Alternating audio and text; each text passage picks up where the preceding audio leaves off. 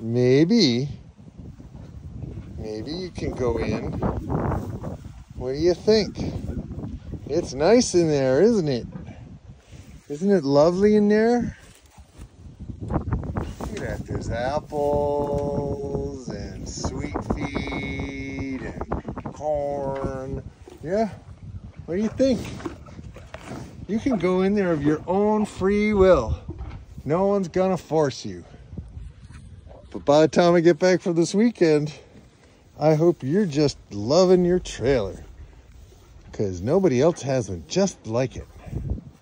There you go.